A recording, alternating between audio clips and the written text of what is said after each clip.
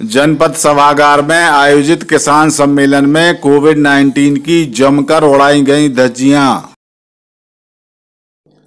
आज पूरे प्रदेश में खरीफ 2020 की फ़सल क्षति राहत राशि वितरण कार्यक्रम आयोजित किए गए थे, जिसके तहत सागर ज़िले के राहतगढ़ में आयोजित कार्यक्रम में कोविड 19 की गाइडलाइन की जमकर धज्जियाँ उड़ाई गईं। कार्यक्रम में आए किसानों के बैठने की व्यवस्था जनपद सभागार में की गई थी, जहाँ पर किसान काफ़ी सटकर बैठे हुए देखे गए। सोशल डिस्टेंस कम ही दिखाई दिया। इतना ही नहीं, कई लोग तो बगैर मास्क के भी कार्यक्रम में शिरकत करते देखे गए। इस आयोजन में कोविड 19 को देखते हुए स्वागत सत्कार में उपयोग में लाई जाने वाली फूल मालाओं से ज़रूर परहेज किया गया। और जब जुम्मेवारों से सवाल किए गए तो वो कमी पर पर्दा डालने की कोशिश करते दिखाई दिए।